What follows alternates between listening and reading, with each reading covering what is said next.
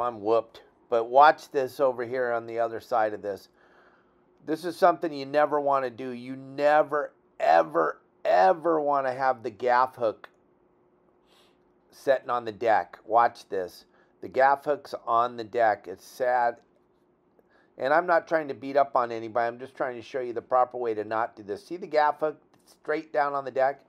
If that angler steps back, he's going to step right on the gaff hook. And then, if you keep watching, right in the middle of this battle, this gentleman has to help the guy out that's battling the fish. He's going to actually set the gaff down on the deck unattended. So now it becomes even more scary of a weapon. Never ever have your gaff hooks laying down. Always have them pointed up at the sun. That way no one can step back